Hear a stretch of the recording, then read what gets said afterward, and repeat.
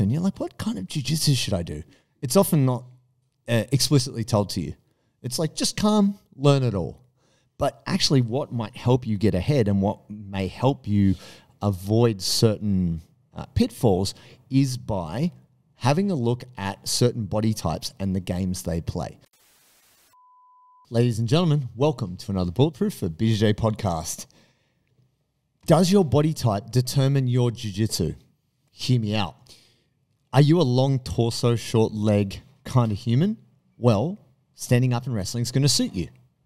But are you a long leg, short torso human? Playing close guard is going to suit you. Now, your coach may have a very different body type to you, which was my experience when I started jiu-jitsu. So that their game suited them, it didn't suit me. But no one ever said to me, "Hey man, you got short stubby legs. You shouldn't play close guard." They were like, "No, just squeeze." Just cross your big toes. so you might have found this that hey, I- I'm just playing a certain kind of jiu-jitsu because it feels better. yeah. But actually, maybe there's something more to this. It's kind of why Big Joey doesn't fuck with De La Yeah, it's it is harder when you don't have the shins. You know when they're like, you know, you put your De La hook in and then you put your foot up here and you twist. And I'm like, How? how? do you get your foot up there, bro? yeah, true. Um, so my old coach Dan Cherubin has very long shin bones, like Right. very, and also huge feet, paddle feet. Like I think he's like a size fourteen, size fifteen, Yeah. foot kind of dude. So he just whacks that shin bone in there, and his foot just goes. It's Yeah. wrapping around you. It's like another little shin bone. yeah, It's like a three section staff. Kung. Kung Fu style. Very much so. So for him to play De La Riva is perfect, and also Butterfly because he's got these massive shin bones. Yeah. It's like it's like the it's like the Great Wall of China. There's no way I'm getting in there like a Mongol stuck on the other side. I'm gonna have to go around the backside, sail through the sea, and journey through the desert to take that back. But uh, anyway, I've been listening to podcasts on Genghis Khan. Don't worry about that. Um, here's the deal. For me, I did Taekwondo for 15 years. I probably have no permission physically to do Taekwondo. I have the shortest legs Yeah. nothing kind of brought this home harder than uh, in 2007. I actually fought the world champion, um, eh, who is a guy called Rosendo Alonso at that time. He was six foot five and fighting 77 kilos. Jesus. And he was String all, all legs. Yeah. he had the shortest torso. So that meant when he lifted his leg to waist height, it was a head kick on me Right. right? So it was absolutely nothing for him to just. He wasn't even trying to stretch. He was just. He just kick my head off very easily, and also he had all kinds of range. Now, obviously, you've got to find a way to make your body type work for you. But when I came to jiu-jitsu, having shorter legs and a long torso was actually quite an advantage as a grappler for taking down. Like if you have a lower center of gravity, it's actually easier to shoot and get low. Yeah. And it's harder to control your center of mass. That's right. And so also when I lifted my hips, I, I could put my head in for passing and pressuring, but my hips were further away because I had a long torso. So that was helpful. Yeah. But it was not helpful for close guard. it was so hard. Like I got pretty strong adductors, but trying to get my feet around someone who was of a decent size and like cross my feet, oh, my ankles, my knees, they were so sore Yeah. all the freaking time. And yeah. then- the- sorry. No, go on. no, no, no. And then I was like, and then I started to learn about a guy called Marcelo Garcia, mm. who who is a, a long torso, shorter leg human. Yeah. He played butterfly guard. He played X guard. I was like, wow, what is this? What is this special stuff? Don't talk about it. It's the dark arts. I was like, but he's the, he's winning. He's very good. We, we have similar bodies. Shouldn't I copy that? No, you must do what the master does. Anyway, I got pretty good at close guard, but needless to say, once I started to learn about, you know, kind of legs inside and, and different kinds of jujitsu, I was like, well, this suits me. I got strong quads. Why wouldn't I? Why wouldn't I elevate people? Why wouldn't I use this tool? And it's because I just didn't understand that the jiu-jitsu I was trying to play didn't suit my body. Yeah. You know what I mean? And and I think almost no one ever says this to you. Like, I mean, probably if you have long legs, they're like, oh, you should do triangles. Yeah. That was a classic thing. Yeah. Have, have you seen that, Joe? Yeah, it's it is interesting that no one really no one really acknowledges it very Yeah. much. It just kind of you naturally start to bias towards the things that suit you, I think. Mm. But it takes some time to get there. Yeah. And I don't know, I mean definitely with the old school coaches, I don't think there was any Chat. acknowledgement of that. Yeah. No, but uh, say with coaches now, like say with Adam, Mm. he- you know, I, I was coaching at Vantage the other night, and everyone's got their own unique games. Yes. Because Adam's like, hey man, I think you should do this. You know, so I do think it's it's something you see more of now. Um, I, I guess you know one thing to mention is that this is not an excuse to cop out, right? Like it's No. not the case that you got short limbs, uh, never play close guard and never get to understand that. Like go there, absolutely. Yeah. And I can say for myself, also long torso and short legs. Um, close guard was very good to me in the initial few years. Right. But these days, like when I, it, I still default to it, right? Right. You get swept or something, and you're like just looking for some kind of control, and you like close your guard around someone. I do that to someone that's like half decent. It's very rare that I'm catching any control or any submission from there. Yeah. And I'm like, why did I do this? And then they're standing up, and then you're like, oh, now I got to bail to something else anyway. Yeah, it's hard. Um, but yeah, so it's it's it is fascinating. I guess the other the other maybe um, point to that to your old coach is that there were like two guards back then. Maybe, May- maybe no. I think there was more than that, but it was just more that this is our gym, this is our style. Yeah. and that's cool. Like there's, there's This is the program. There's something to that because you're like, well, if you follow our formula or our our model, you're going to get so good at this, and that's like unbeatable. Yeah. And at that time, Roger Gracie was the man, and he played close guard. Yeah. and you know it was like that. So there's something I was going to say when I butted in before with, with long-legged folks like Roger, like Adam Childs. When you see someone with really long legs and you see them playing close guard, they're so relaxed. Yeah. Like they're doing work with their upper body, but their legs are just like casually around and closed, and it's like this nice, There's no work there. strong connection. Yeah. And I'm like, man, close guard very rarely feels like that for me. No. like their heels are like sitting on the ground. Yeah. You know? yeah, they've got their knees around your hips and their feet are so far apart. yeah. Well, do you find you get thirsty at training? I do. I do all the time. I'm a sweaty human and I need to hydrate. Now, the biggest problem is by the time you're thirsty, it's a little bit late. You need to hydrate. And that's why we got Sodii. Sodii is sponsoring the show. We've got all the colors of the rainbow. Great flavors here. We've got salty citrus, salty pineapple, salty berry, and my favorite, salty grapefruit. And they will be releasing two new mystery flavors soon. So, why do we need this? It's going to prevent our muscle cramps, it's going to help our energy delivery, and it's also going to mean you're less tired, which is an advantage when you're training. If you want to maximize your jiu-jitsu and feel good when you're rolling, you need to get Sodii. And when you purchase, enter the code bulletproof20 at checkout for 20% off. Oh yeah. the reason why I bring this up, when you go to MMA, let's look at our, you know, our our tougher, more athletic cousins. They talk about the tale of the tape. Debatable. How tall are these guys? Yeah. What's their reach? What do they weigh? They talk about their backgrounds. They talk about so many factors, right? And just like a couple of inches in reach makes all the difference on a punch, right? Yeah. So, for example, I think it's Jon Jones has the longest reach, like for height. I mean, he's a tall guy. Right. Uh, I don't know, maybe six four, six five. I could be wrong in saying that, but his reach is seven foot one or something crazy. Like people always know. I mean, he puts his fingers out, Yeah. kind of fake eye gouge. Like it kind of, it's a bit not great. But Jon Jones has amazing reach. That makes a huge difference in striking. Yeah. Same thing. Like um, I believe Conor McGregor's got actually quite a long reach. Yeah.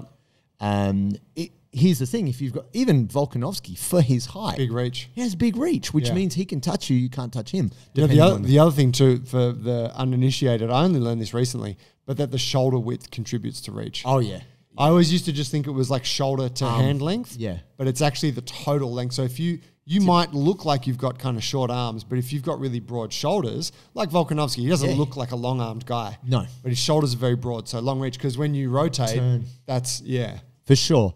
So here's the thing: people don't get See this. that? That's how you f***ing throw a punch. Oh god, dynamic. Listen to my other podcast, Bulletproof for Striking Arts. Whoa, I didn't even know. there you go. It's behind the paywall. Um, well, let's look at a guy like Gordon Ryan. He has ridiculously long arms. I didn't realize this, right? Like, I'd watched a few of his tutorials. Uh, I downloaded, excuse me, uh, one of his passing uh, BJJ Fanatics things. And what I came to realize is he has f***ing long arms. And I didn't really understand it till I stood next to him. I stood next to him at the um, 2019 ADCC. It was just like the Danaher Death Squad crew was standing. It was post comp. I was in around all the the guys. Lockie had done his thing, so there was like absolute MMA crew. Everyone was there. It was cool because the comp was over, so people were like kind of letting their go. People were just standing around. It wasn't a big deal. Oh my god, Gordon Ryan's hands are almost by his knees. You know how they have that exaggerated look of like the gorilla or the Knuckle dragger? orangutan? Yeah, the knuckle dragger. Part of the reason why Gordon is so comfortable to reach around, like take your back, he has incredibly long arms. Now, I actually don't know his wingspan, but I would suggest it is far more than his height Right, like proportionally. proportionately, Yeah. right? Because that's the that's the crazy thing. Like, and I think that when I think about my old coach Dan Cherubin, he also has crazy long arms. He could have you in close guard, pretty much reach all the way around to your back for the far side lat, and just turn you around. Yeah. like, be, and that is a massive freaking advantage. I, I've never heard anyone in jiu-jitsu talk about how long is that guy's reach. yeah, It's, it's only true. in MMA they talk about that, right? yeah, And having long legs and long arms and a short torso means you've got a smaller surface area to control in the middle. Yep, That's actually Harder to get in on. That's harder to get in on if they're good at using that. yep. But if you're a kind of Mike Tyson esque grappler like me, want to get inside and just, you know, I just want to get in close and hug the shit out of you. If I can get inside your long limbs, you're kind of dead.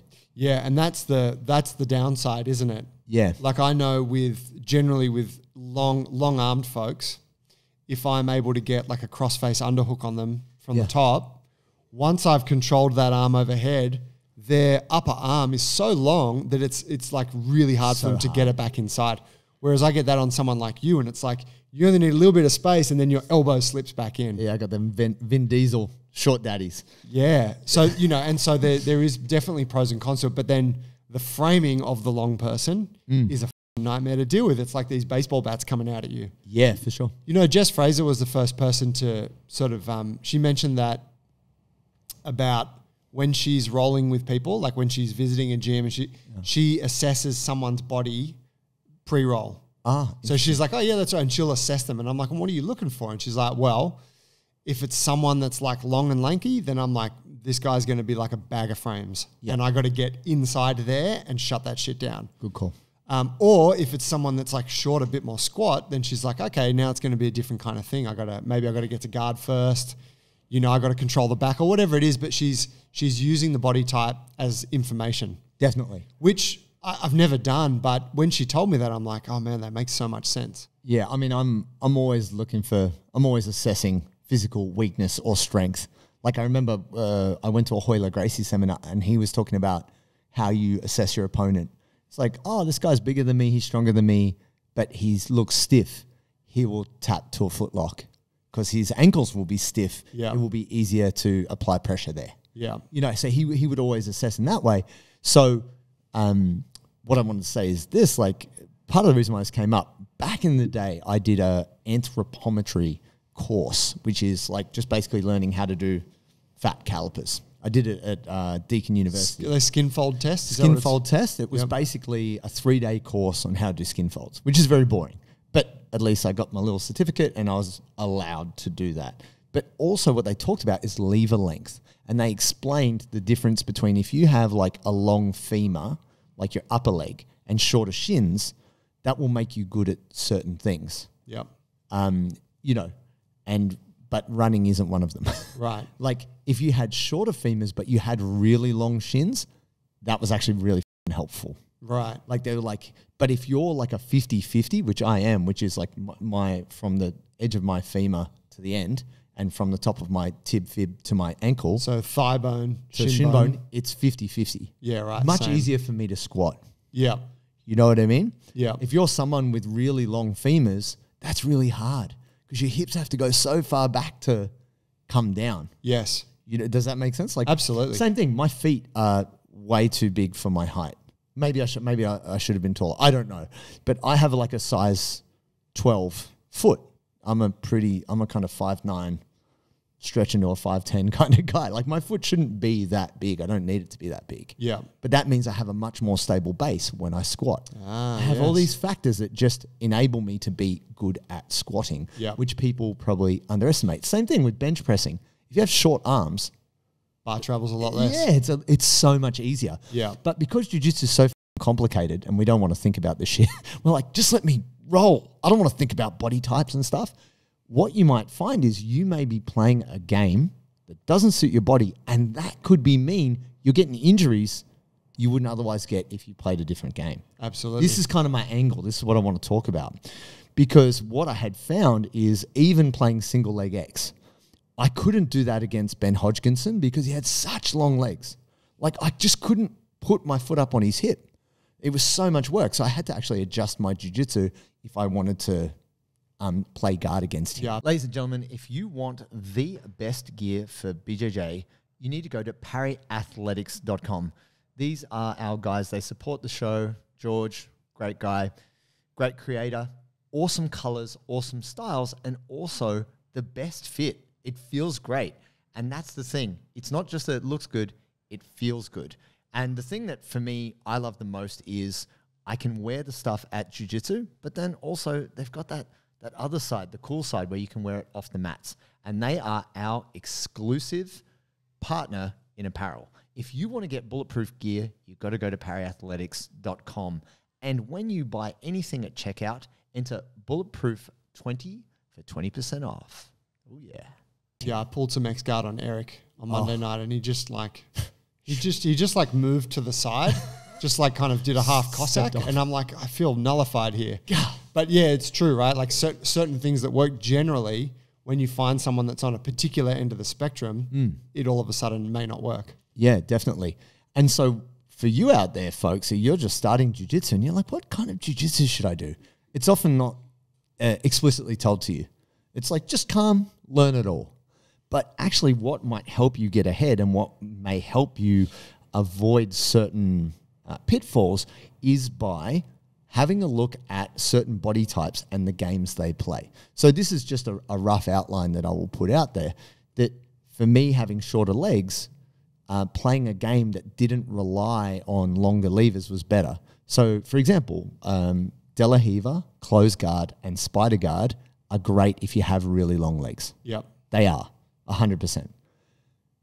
Butterfly, X Guard, Half Guard is, is a short limb daddy kind of game. Yep. So those games really suit me. Same thing Yeah. like Reverse De La Now, you can Try like leg triangles. Leg are triangle. not going to be huge if you got short limbs. No, arm bars. Arm bars. Yep. Hip Arm bars, extension, guillotines. squeeze knees. Yeah. Yeah. So you know, I I struggle to do a darce, you know, because it's just like trying to get around. Leg attacks are typically hard for longer limbed folks too, aren't they? They are because it's hard for you to get your own legs out. Yeah. Whereas if you so got much short legs, like here's the funny thing: Kit Dale has a massive torso and very short legs. Yeah. If you tried to keep his legs in your guard, he just bloop bloop, he just whip them out. Like there was there was he had big quads and it's like it was really hard to control his legs. And I found this rolling with Bruno Malfacini. Uh, Malfa is a, a smaller human. It's so hard to get any control on him.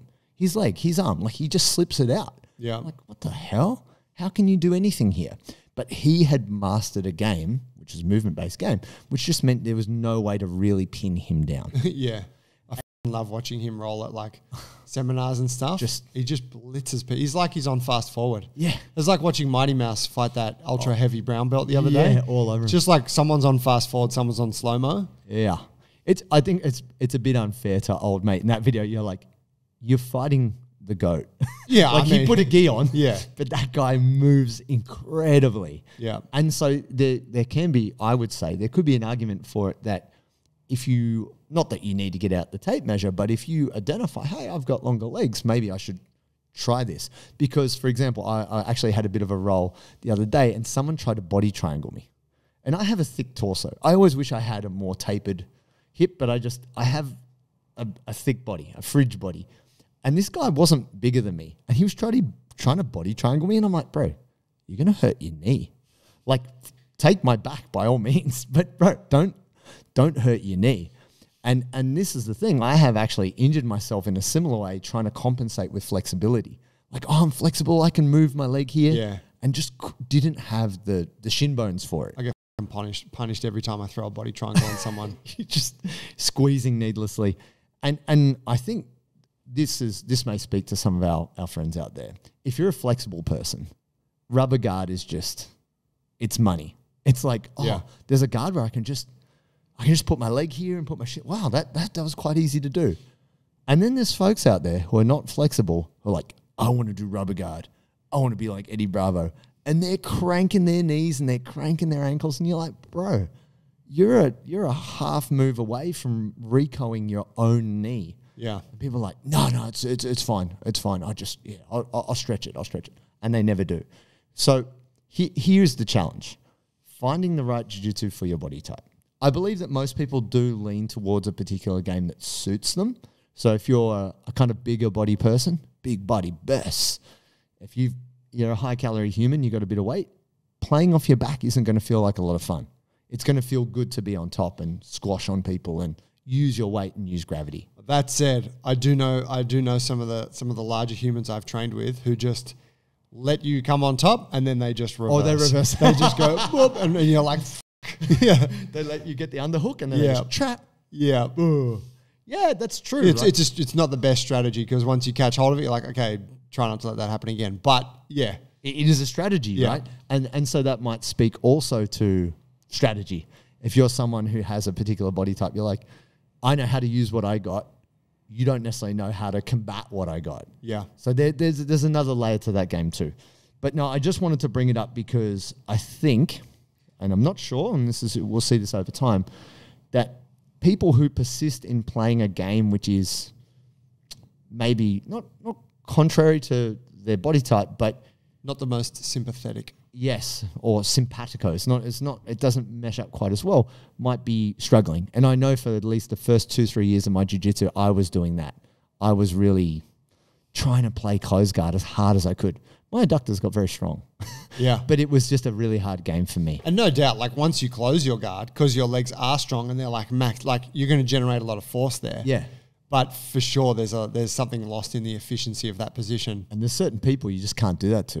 you Yeah, just- yeah. You're never getting your legs around. So just fighting endlessly there because your coach says it's a good idea doesn't mean it is the way. Yeah. The the other thing I've taken away from this, which is you you can like you can look at training partners and you can kind of understand what their strengths are based on that. You'd be like, oh yeah, okay, that's why. Whenever I end up in so and so's close guard, I usually get triangled mm. because they've got big long legs and you know, and they're really comfortable there.